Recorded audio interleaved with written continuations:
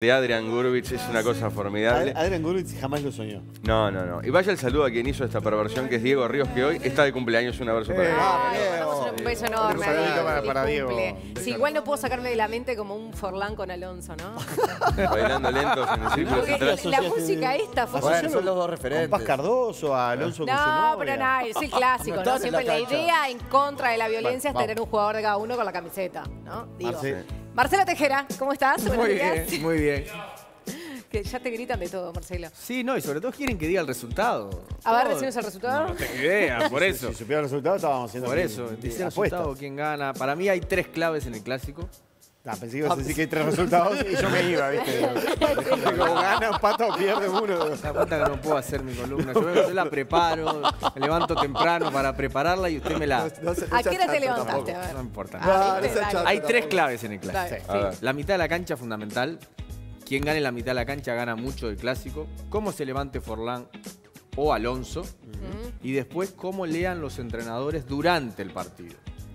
Porque por ahí hay que hacer algún ajuste táctico y los entrenadores tienen que estar con la tranquilidad de verlo. Porque muchas veces el clásico te lleva a que eh, la gente, la, la adrenalina que genera el clásico no te lleve a estar tranquilo. Los entrenadores tienen que leer cada 10 minutos el partido por dónde está. Para mí esas son las tres claves para ganar el clásico. Dijiste Alonso Forlán Aguiar, ¿no?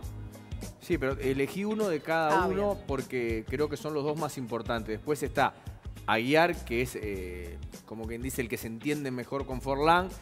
Y para mí va a ser muy importante Romero en la mitad de la cancha. Yo creo que Nacional va a jugar con tres volantes de marca y Romero va a ser el que se va a soltar más, el que va a aparecer por sorpresa y el más difícil de marcar, como ¿Cómo? lo es Aguiar. ¿Cómo crees que fue? Porque dice que Nacional ayer probó otro esquema, ¿no? Con Nacho González y Amaral y salió Eguren y Avero. ¿Vos cómo crees que, que forme Dimuno? Va a poner los que marcan, va a poner los que Para mí pone los tres Guren. volantes, pone Guren, eh, pone Porras y El. Romero y un enganche con los dos puntas. Lo que pasa es que también lo que hacen los entrenadores, prueban variantes para el segundo tiempo, porque dependiendo del resultado, Peñarol probó con Maquichen de lateral. Yo creo que no es para que ingrese en el primer tiempo, sino para que durante el partido pueda hacer un cambio. Los entrenadores creo que los dos tienen claro que el equipo desde el martes. No lo dicen y juegan un poco a las, a las Las- escondidas. las dudas. Porque eh, se dice, entrenó a puertas cerradas y a los dos minutos sale el, el equipo que equipo formó. Sí, claro. O sea que los entrenadores lo tienen claro. eso. ¿Cuánto le pesa a Forlán su primer clásico en Uruguay jugando con una camiseta de un equipo acá? Le puede llegar a pesar en el, en el sentido que es el primer clásico que juega en su país, que es el más importante. Porque cuando lo jugás en el extranjero es un clásico, pero no tenés el día a día como lo tiene Tiene él acá. carga, carga emocional. más Carga nada. emocional de toda su vida, porque siempre quiso jugar El este padre, clásico. además, y todo eso. Lógico, después van a estar los que si juega bien es un clase A y si juega mal solo juega los clásicos, van a empezar a hablar. Forlán es un grande, juegue bien o mal, el clásico lo tengo claro. Eh, esperemos que por el bien de él, porque es un chiquilín que le tengo un aprecio muy grande, le pueda salir un, un buen primer clásico. Disculpe, eh, Santú, ¿Y, y pero... por qué? Está bien, digo. eh, Bueno, usted no eh, querrá que le vaya bien a Forlán el domingo. Deportivamente no. No, por eso. Disculpe. No, pero bien, deportivamente, Bien, digo. primer clásico también para Burruchaga. ¿Cuánto- ¿Cuánto le pesa? Y lo viene haciendo muy bien en los partidos. eh, Ha demostrado... ¿Para quién? Burciaga. Sí, no, no, no, quise corregir. Yo estuve bien bien. porque- Él- él- Bien, Yo que no bien. tengo maldad. Yo que no tengo maldad. Bien, teje- Dije, ¿Sabes No qué? tengo maldad, la dejé. agarra zap- Burruchaga Nacional el fin de No, semana. Qué maldad. No, esos apellidos me salen siempre mal, así que. ta, y ya me voy atajando para el mago que viene ahora, que tampoco me sale el apellido. Eh, lo viene haciendo muy bien Guruciaga y sobre todo ha demostrado ser un, arquero de equipo grande. Le llegan una o dos veces y la soluciona las, las jugadas. Yo creo que viene bien. En el clásico todo puede pasar y todo se agiganta, para bien o para mal. Lo viene haciendo bien hasta ahora.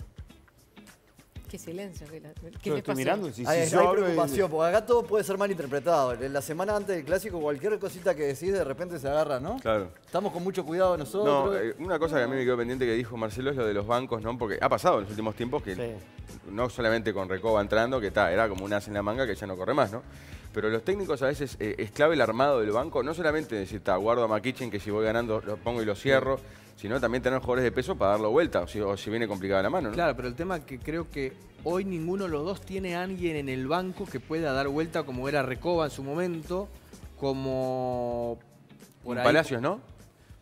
Claro, pero no, no lo han hecho todavía. Es una prueba que le- te puede salir bien o no. En Nacional no tenés un jugador que, que te vaya a cambiar, a no ser Abreu, que lo necesites eh, faltando algunos minutos para tirar el, el tema del juego aéreo. Yo creo que tiran todo de entrada y después ven por ahí. Si no juega Nacho González o no juega Amaral, ese para mí va a ser el primer cambio en caso de que Nacional no, no esté ganando. Pero como lo, lo expliqué de entrada, para mí es fundamental cómo los dos entrenadores vayan leyendo el partido. Leyendo el partido y ver tácticamente y ver qué cambio, porque eso es lo que va a definir. ¿Y qué partido te imaginas de entrada? Sí. Martín? No, no. Para mí, eh, los dos van a ir a buscar el partido.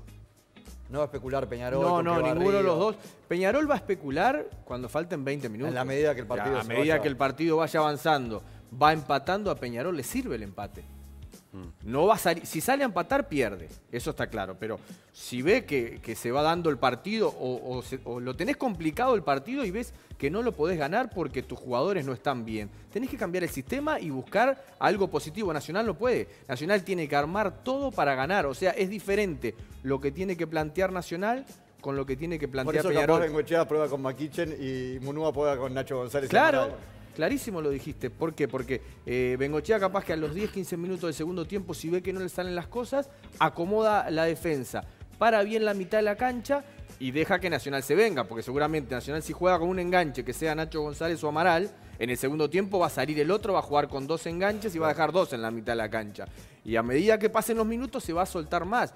Pero eso es todo lo que puede llegar a pasar. Sí, Capaz que a los cinco minutos hace un gol y Claro. cambia todo. Peñarol tiene que salir a buscar el partido. Por eso es muy importante cómo vean los entrenadores el partido. Marcelo, eh, a mí me encanta que estés vos acá porque sos jugador de fútbol y podés transmitir determinadas sensaciones que desde otro lado otro nos puede contar. Decías que entre las claves del partido estaba cómo se levanta ese día, que es una figura metafórica, entiendo, de cómo se levanta Forlán y cómo se levanta Alonso. Digo, no son demasiado grandes, experientes, han jugado finales de, de, bueno, desde Champions y Mundiales hasta Europa League y demás, eh, como para ver cómo se levantaron ese día. Digo, tiene ya un peso por sí mismo. o sea, Claro, que- pero cuando digo Martín cómo se levantan no es No, no, si no, dormiste no, no estamos poco hablando del mucho, desayuno, es eh, que claro. veces vos entras al partido y de entrada te salen las cosas y hay veces que no te salen. Creo que a esa- a Porque esa- a yo me he preparado para la- jugar clásico, pelota- descansé bien todo y por ahí llegás y la Sí. primera pelota vos te das cuenta que estás bien y te sale y de pronto entraste y, y errás un pase de acá y, y estás entreverado Y y, ahí te y pones no te balde. salen las cosas, te pones el balde como Pero decís. no son los dos muy experientes y, Sí. y como para decir, bueno, para el bien, baile pero no son ajenos a que tengas una mala tarde. Eso, eso es como una sensación que tiene el jugador, ¿no? No, es que a mí siempre- que te sale ¿De lo que no te depende? sale. ¿Que te No, no, no, no, No depende de nada. No depende.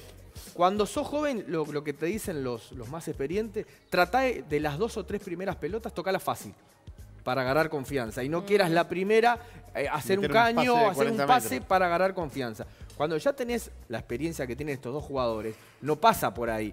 Pasa porque estén en la tarde de ellos. Cuando Morena hizo siete goles o cuando Vitorino hacía cuatro goles, por ahí estaban en la tarde de ellos o no. Por eso yo creo que es muy importante cómo estén ellos dos, porque, porque son las claves del partido. Alonso es fundamental en Nacional. Sí, claro. Y Forlán también. Porque es el eje de toda la mitad de la cancha. Aguiar, Forlán, lo que pueda aportar Salayeta, que nos, nos estamos olvidando de Salayeta y recién lo decía, que es uno de los últimos clasos, clásicos de él. ¿Qué va a querer? Hacer un buen clásico para quedar en el recuerdo, porque la gente siempre se queda con lo último. Es un hombre que lo que hiciste antes no le importa. además. No, y aparte es, eh, es muy buen jugador. Lo que pasa es que no podemos nombrar a todos. Sí, Sí. Incide, Marce, que en, en un clásico de Peñarol Nacional los dos técnicos sean ju- exjugadores de esos mismos equipos. Sí, porque lo viven diferente. Lo viven como que están adentro de la cancha, lo viven con mucha pasión, por eso tienen que estar fresco de, de arriba.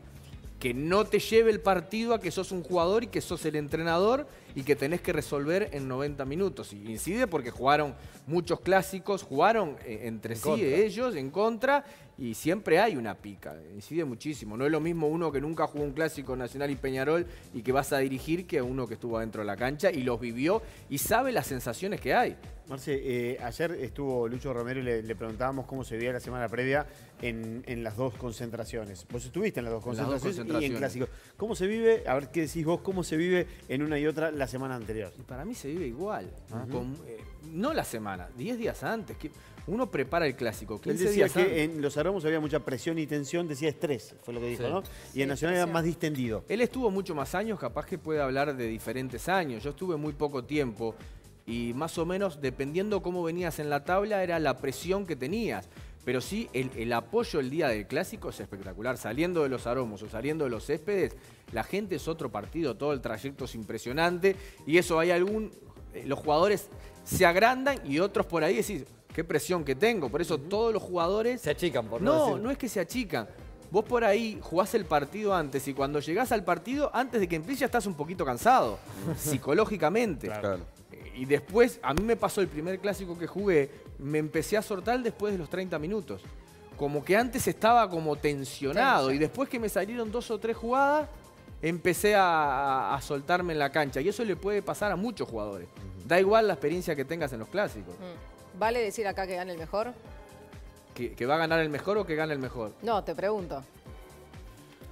Es muy difícil. eh, ahora los camarógrafos querían, yo les puse un resultado ahí. Ah, que Ah, resultado y a ver, ¿quién gana? ¿Quién gana? Eh, Es, es muy difícil porque no ¿Dónde hay, está ese documento? no hay favorito casi nunca en los clásicos. Y después vienen muy parejos y los dos no vienen eh, jugando muy bien. Las individualidades son lo que han salvado a los equipos. O sea que no le es muy difícil. Muy bien. Poncio Pilato. Bien, bien, sí, no dijo nada. ¿Por qué hinchás, Marcel?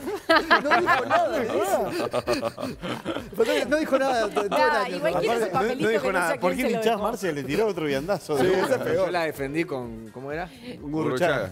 Burruchaga. Burruchaga. Todo un caballero él y usted. Pero me lo tendrás que haber dicho. No, No, me di cuenta porque sentí una risa acá de Sí, Pablo no, y dije, no, no, ¿qué dije? Le dijeron. Bien, igual voy, voy a, si no me decís después el, el resultado El resultado afuera, voy a decir lo que hablamos lo el tengo otro anotado. día. ¿Por qué hincha entonces? Lo tengo anotado. No, porque Por el hincha. Barça. El otro día me Imparcial. dijo Yo no eso. soy como la. Imparcial. Él es hincha de totalmente. Tejera. Dice hincha Tejera, no soy imparcial. Nos vemos el lunes con El el lunes resultado temprano. de este con el clásico. resultado. Espero que no haya problema en la mesa el lunes. ¿Y cómo No, va a haber imposible. Jamás. Pero Imposible. lo único que faltaba, ese problema. Jamás. Nos vemos, Marce, gracias. Ya va hasta el lunes.